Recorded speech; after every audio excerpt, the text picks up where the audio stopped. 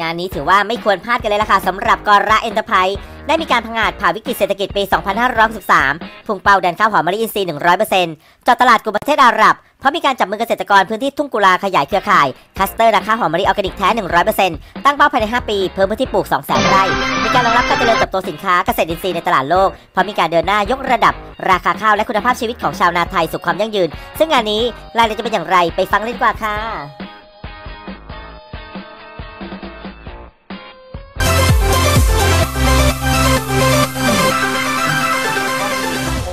มาทำงานก็คนก็เริ่มสนใจเรื่องข้าวคุณภาพ ข้าว premium grade แล้วก็ต้องบอกว่าตั้งแต่สถานการณ์โควิด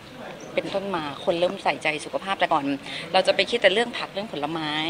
อ่าเราอาจจะไม่ได้พูดเรื่องข้าว แต่วันนี้เราพูดเรื่องข้าวออร์แกนิกมันก็จะคือถ้าถามเทรนด์ตอนนี้เรื่องข้าวสุขภาพมาแรงมากนะคะไม่ใช่เฉพาะตัวข้าวหอมมะลิ ไม่ว่าจะเป็นไรซ์เบอร์รี่ข้าวหอมมะลิแดง หรือว่าข้าวตระกูลสีต่างๆ ก็เป็นข้าวเพื่อสุขภาพค่ะค่ะ แล้วสถานการณ์โควิดในต่างประเทศที่เกิดขึ้นส่งผลกระทบต่อการส่งออกข้าวของไทยมากน้อยแค่ไหนยังไงบ้างอ่าต้องได้ปรับแผนไหมเอ่อส่งผลอยู่แล้วค่ะ ต้องบอกว่าผลผลิตแทบทุกตัวในประเทศไทยส่งผลทั้งหมด เวลาเราปรับเปลี่ยนแผนก็ตอนนี้ก็พอดีเป็นช่วงระยะเวลาที่เรามาทำในตลาดในประเทศ แล้วก็ช่วงประมาณปลายปีก็จะเป็นระยะเวลาเก็บเกี่ยวพอดีนะคะ ก็จะก็คิดว่าช่วงนั้นน่ะโควิด ก็น่าจะเบาบางไปแล้วในส่วนหนึ่งค่ะอ่า ตอนนี้ต้องทำงานเป็น cluster ง่ายที่สุดค่ะ cluster ทำงานร่วมกับเกษตรจังหวัดทำการร่วมกับเกษตรอำเภอคือต้องบอกว่าต้องก็ต้องขอบคุณที่รัฐบาลเองก็ส่งเสริมไว้แล้ว คือจริง ๆ กระบวนการส่งเสริมของกระทรวงเกษตรเนี่ยเท่าที่ทำงานมาด้วยเนี่ยดีมากๆ มีเงินชดเชยมีเงินเยียวยา มีเรื่องการตรวจรับรองแปลงต่างๆ แต่ว่าสิ่งที่ขาดก็คือเฉพาะเรื่องของการขายว่าขายยังไงขายแบบไหนแล้วไม่ไม่ใช่ขายข้าวทีละกิโล2กิโลต้องพาขายข้าวทีละตัน 2 ตัน 5 ตัน 10 ตันแบบนี้ค่ะตอนนี้ ก็คือในเราคงปฏิเสธความรับผิดชอบเราไม่ได้ แต่ก็ต้องบอกว่าเราเองก็ไม่ได้มีประสบการณ์เยอะในช่วงแรกๆแล้วถามว่าพอมันเกิดขึ้นมาแล้วเราเห็นปัญหา แล้วเราอยู่ในช่วงของการแก้ไข ว่าคือสิ่งหนึ่งที่เราระมัดระวังก็คือพฤติกรรมผู้บริโภคหรือว่าสมาชิกของเราว่า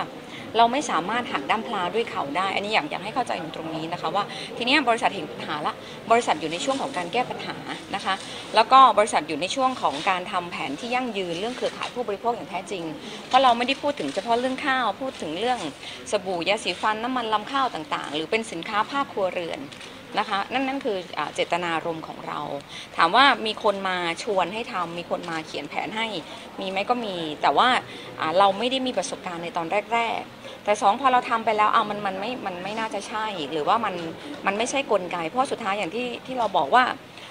หลายอย่างเนี่ยพอถามว่าผลเงินปันผลหรือเงินเงินโบนัสได้ไหมได้ แต่ประเทศไทยไม่ได้ยอมในลักษณะแบบนี้อะไรอย่างเงี้ย ตอนตอนนี้ต้องต้องวางแผนใหม่เลยค่ะ เรื่อง HR ใหม่เรื่องการพัฒนาบุคลากร หรือว่าการพัฒนาหรือการสื่อสารองค์กร ต้องบอกว่าปัญหาส่วนหนึ่งของเราคือ การบริหารที่ผิดพลาดตรงนี้เรื่องเรื่องการสื่อสารองค์กรของเราที่อาจจะอาจจะไม่ชัดเจน แล้วมีคนไปทำเอกสารเองอย่างเงี้ยค่ะ ตอนนี้ก็ต้องกลับมาเรื่องนี้ใหม่เลยทั้งหมดเลยค่ะ แล้วก็เดี๋ยวพอตอนนี้แผนตัวตัวนี้ค่อนข้าง complete ก็จะเป็นแผนตาม YouTube ทำอะไรโดยปกติทั่วไปธรรมดา เพราะฉะนั้นตัวต่อไปคลิปวิดีโอแผนต่างๆ ก็ต้องออกจากบริษัททั้งหมด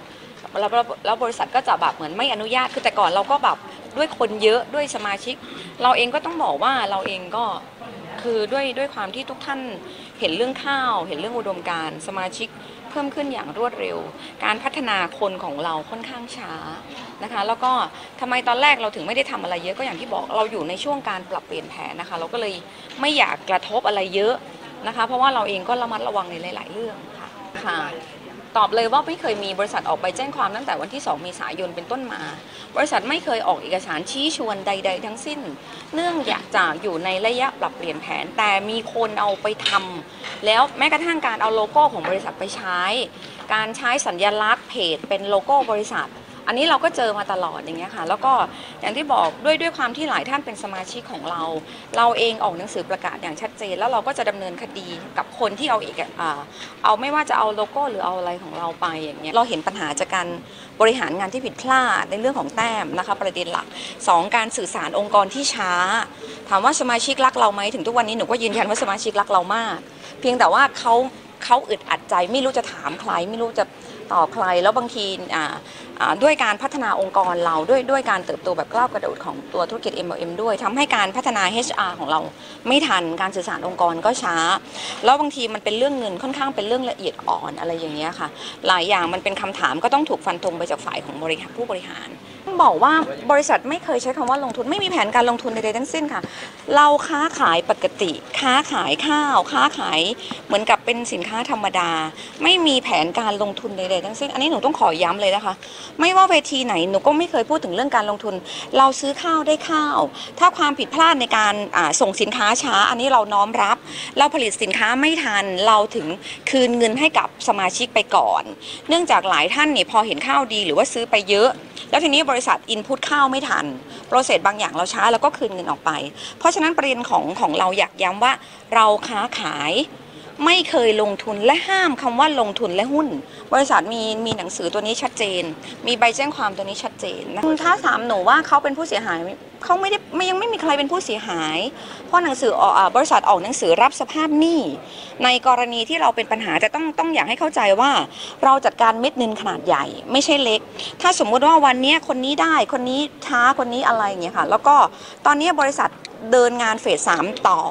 ท่านสามารถที่จะนำเงินจากเม็ดเงินเดิมมาดำเนินกิจการกับเราต่อ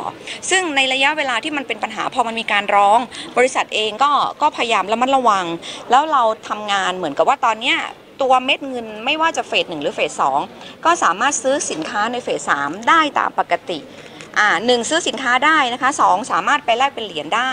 อันนี้คืออย่างที่สองสามบริษัทออกหนังสือรับสภาพหนี้ให้ในกรณีที่ท่านไม่ต้องการที่จะเป็นผู้จำหน่ายอิสระกับเรานะคะ อันนี้ก็ต้องหรือข้อที่สี่ถ้าท่านไหนประสงค์อยากซื้อหุ้นบริษัทนะคะ แล้วก็มีใบรับรองใบจองหุ้นใบอะไรอย่างเงี้ยบริษัทก็มีบริษัทมี 4 ช่องทางให้ชัดเจน แล้วก็ทำงานผ่านระบบแอปพลิเคชันที่เป็น iRisk Phase 3เท่านั้นนะคะ อันนี้คือนี่คือความรับผิดชอบของเราว่า เรามีช่องให้เลือก ถ้าไม่ต้องการเป็นผู้แทนจำหน่ายกับเราจริง ๆ ก็บริษัทออกหนังสือรับสภาพหนี้แล้วก็มีเงินชดเชย เพิ่มเติมให้นะคะเพิ่มเติมให้เพื่อเพื่อเยียวยาความรู้สึกซึ่งกันและกัน แต่ไม่ได้บอกว่าดอกเบี้ย3% 5%นะคะเดี๋ยวไปเดี๋ยวไปเชื่อมโยงกับว่าให้ดอกเบี้ยเปอร์เซ็นต์เกินออกเอกสารชี้ชวนอีกเดี๋ยวมันจะเป็นปัญหาต่อเนื่องของหนูอีกนะคะ แต่ต้องบอกว่า การใดก็ตามที่เกิดขึ้นบริษัทรับผิดชอบร้อยเปอร์เซ็นต์นะคะร้อยเปอร์เซ็นต์สามารถนำเงินตัวนี้ไปซื้อสินค้าในเฟสที่ 3 ปกติ MLM กับเราปกติได้ ถ้าท่านไหนประสงค์ยกเลิกบินสินค้าหรือการจำหน่าย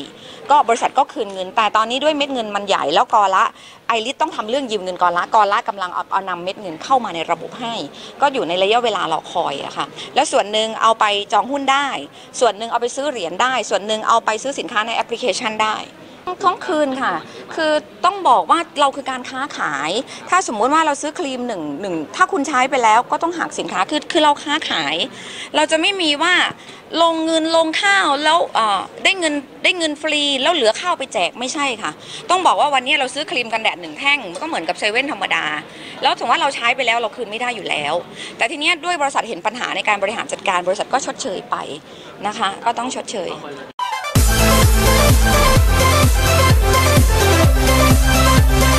ช่อง8 Thailand News